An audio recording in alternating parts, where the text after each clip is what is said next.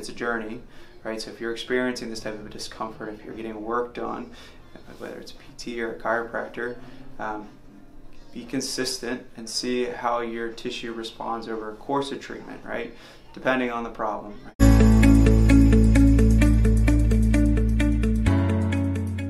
Hi, I'm Sarah. I'm a new intern here at Kalkstein Chiropractic.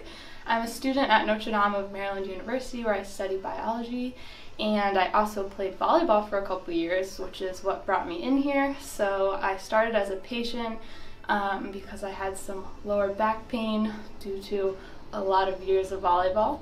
Um, and now I'm an intern and I've had a great experience. I've learned a lot and met a lot of wonderful people. Hey everybody, it's Dr. Warren here at Kalkstein Chiropractic. I'm with Sarah today, and you guys just got to meet Sarah, or maybe we'll put the interview at the end, uh, depending on how well she did with the interview. Did you do okay? I think so. Did you give I a good medical so. history? No. Was I supposed to You didn't talk about your back at all? No, I said that your- I have some lower back issues. Gotcha. What, did you talk about, talk about the MRI? No. Oh, what, hap- what happened? You took you got an MRI how long ago? Four years ago. Four years ago. Okay, so you've had a history of back pain. You played volleyball, correct? Mm-hmm. What did it show on the MRI? Showed that I had a slight bulging disc at L5S1. Yeah, minimal bulge, slight bulge, right? Yeah. Uh, do you remember if it was central or lateral? Central. Central. Central can be a little tricky um, in terms of the symptoms that can present itself, right? It can be bilateral in terms of the pain that you experience. Sometimes it can go down the side of the legs where you've got that discomfort. And you've had similar discogenic pain um, in the past few months, right? Especially when you started getting started working here, right? You started to work a little bit more. You're on your feet, a little bit more stressed day to day. She's also spends probably what like your entire life writing essays as well outside of here. Yeah. Yeah, you spend all weekend. so she's going to med school. She's got to apply to X amount of schools and a lot of essays. So discogenic pain with sitting and prolonged use is not a great combination, but we've started to adjust you a little bit more regularly. And I think that's been the biggest change in terms of from a, from a, from a clinical standpoint. Your range of motion has improved. You've improved with your adjustments overall. You're starting to move a lot better with them, um, and it's helping out a little bit longer in between visits, right? Yeah. Um, so that's a win, and we're excited about that. We're going to upgrade you from phase one Yes. to low back phase two. Oh. Step. It's a step. It's a step up. step in the right direction. Okay, so um, just a thing to cover there, right? Discogenic pain can present. Um, when you have findings on MRI, it's not a clear indicator of pain. Not always, right? So you can have a finding, say like a small disc bulge, and be pain free completely, right? Um, sometimes that, that area can get irritated, you can have inflammation, you can stress it, overstress it, and that can cause inflammatory markers to create sensations of discomfort, pain down the leg, right? Um, so we see that, and we also see referred pain in people that have no discogenic or no, excuse me, no disc findings on the MRI. So sometimes there can be irritation around the joint itself or the muscle tissue itself, right? Um, uh, with movement patterns, with overexercise, overuse, or trauma. Okay, so there's a lot of things that can present with that kind of referred pain. In her case, it's most likely coming from that L5S1 central disc bulge. Okay, so let me show you how I treat her from an adjustment standpoint. Um, cool. Mm-hmm. Sarah, how's your experience been working? Amazing. Good. Yeah. Come on over to me. Your your sister's been coming in as well. Yeah. Volleyball player too. Yep. We'll do a video with her next time. Oh no. okay. And the fans can vote which they which video they like more, Which sweet they like the which suite they like more. Dang it. Bend to your right for me. Good, and go to your left side. So before, when I initially examined her, she can move really well to one side, and then she can't get into that space at all on the opposite. And with central uh, irritants, sometimes the pain is on the opposite side that she uh, can't move well to. So if she can't move well to her left side, she's getting a lot of right-sided symptoms, I think more central irritant. Go into extension for me. That was that wasn't even. Did you even try? it hurts. It hurts. Far enough, yeah. It hurts when you go back initially, or when you get towards the end. Um, towards the end, yeah, like there. It catches at you. Mhm. So she responds really well to flexion. I don't mean to aggravate you. I, I just did look like you were trying. I'm not gonna lie. Oh, I'm just kidding. Go towards your toes forward. Nice and easy. Good. And come back up. You're what? Not flexible. You're not? No. Did you just touch your toes? Oh, not really. That's pretty good. so she's irritated in extension. And then when I have her do it again, she's probably a little bit even more irritated when she really pushes back, and I apologize.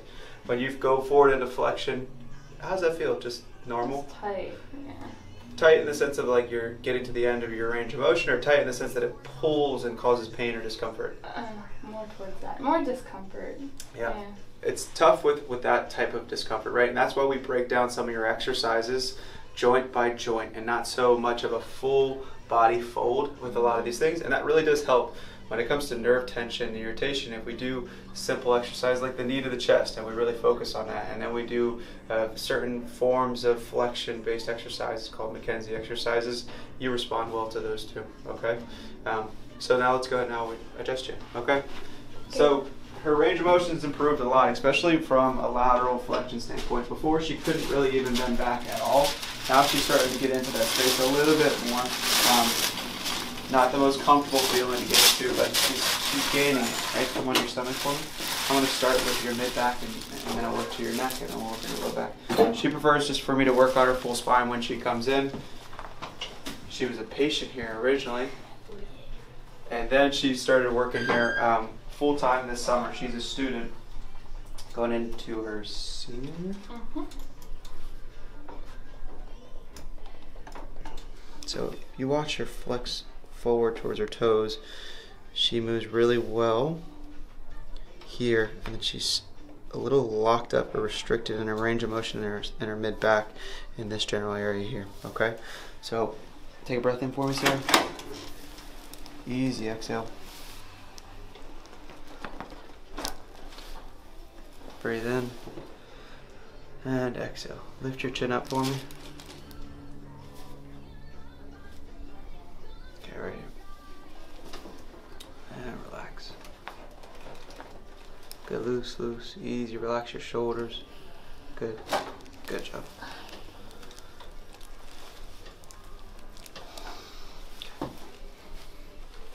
Relax your hip for me.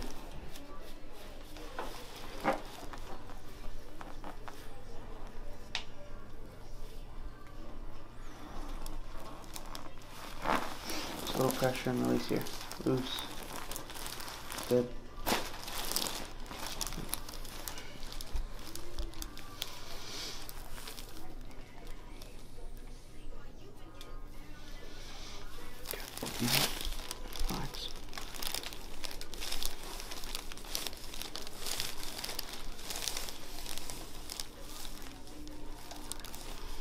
Loose here. Good.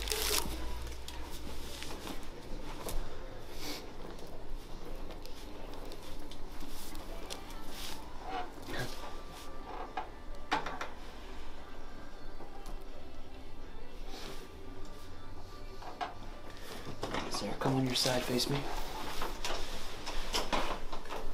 Pressure up here. So, what kind of doctor do you want to become? I like emergency medicine. Emergency at the medicine? moment. Have you shadowed that Yeah. experience yet? Not emergency medicine. Hmm. Bunch of other ones.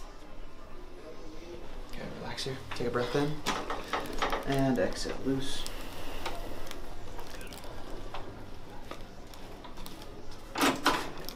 So when I adjust, there's a lot of compression. Relax your shoulders, relax everything.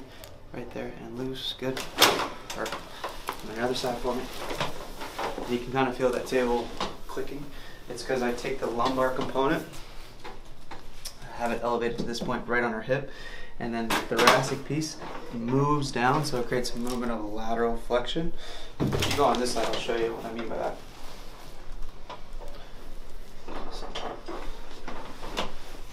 So her hips are lined up right here. Here's her low back. Her pelvis ends right here. When I set up my adjustment, I'm putting a lot of pressure over the corner of her pelvis, especially when I get her to this side. And my line of drive is right into the table from the hip, the corner, the posterior superior iliac spine, the edge of the ilium, the sacrum is here. That area of irritation is here. She responds well when I do a lateral adjustment in that area. Okay, so the table will go this way. My adjustment will follow through that area. Relax here. Breathe in. Easy. Exhale through your mouth. Good. You're doing well. Here and here. Good. Let it go. Come on back. How'd that feel? Good. Yeah. Mm-hmm.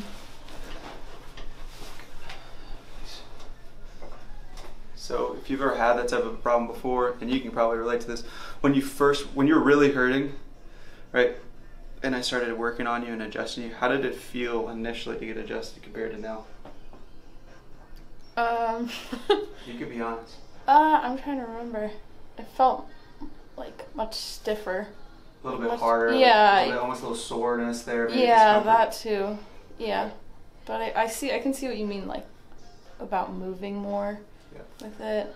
It just felt like I don't know, tighter. I guess. Yeah, lock, locked up. Yeah. Just so the system itself, right? When you're when you're dealing with someone that has this type of problem, it takes a while for those muscles, for those joints to all kind of function like they should.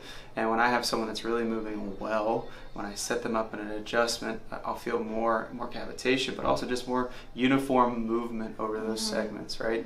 And that's more comfortable for sure, right? Imagine if like. Um, Imagine if all the joints are moving well except for one's just not it's not comfortable at all. It's really tight, it's irritated, there's inflammation, and I go to adjust everything and wants to move around it, but there's this one spot that's holding on. Right, as you start to relax a little bit more, as you start to change, that tissue starts to change as your environment starts to improve. You start to feel much better with your adjustments as relief, right? Mhm. And the point that I'm getting to with this all, right, is one, it's a journey, right? So if you're experiencing this type of discomfort, if you're getting work done, whether it's a PT or a chiropractor, um, be consistent and see how your tissue responds over a course of treatment, right? Depending on the problem, right? Sarah, we've, I've adjusted you over the last probably four weeks, two to three times a week, and and I, I don't normally treat people that often, right? It's not as it's not as common for me to see someone so often. It's helpful she works here, obviously, but um, but if it's someone with discogenic pain like she's got and it's been chronic for a certain amount of years, years, Yeah. then it takes some time, right? Yeah. Work, some work too. Low back phase two, exercises. So we do PT, we do rehab here, um, and she'll be getting some treatment afterwards. You're gonna be doing your exercises at lunch. Of course. Yeah, you want to get back to lifting. You want to get back to doing some fun stuff, right? Yes, I do. Thank you for watching. I'm gonna adjust her hips. Um, thank you for watching. We appreciate all the support. This this video, Sarah doesn't know it, but she's gonna push us over to hundred thousand views. I'm just I feel it. So if you Let's see. you want to follow Sarah's journey um, in terms of getting treated and working on discogenic pain, as well as all the other videos that we're doing right now, please subscribe. We really appreciate it. And then if you're interested in something that we haven't done yet, like a patient told me yesterday, you Blake should do a video where you watch another chiropractor adjust people, make comments on it. yeah. I was like, that's a thing. She's like, oh yeah, I love watching those. So stuff like that. If you guys have some suggestions on things that you would like to see, uh, please comment below. We love our, our, our vi- viewers and we love the comments you guys leave. Relax your hip. Good. That was fantastic. That was really good. Relax. You moved really well there, right? All the way up. Your your hip and your ankle and your knee all adjusted. Aw. Loose. Relax here. Good. A little more just in the hip. Good. Alrighty. Two. For two, you said? Oh yeah. All right, thanks for watching, everybody. We appreciate it. Sarah, say bye to your fans.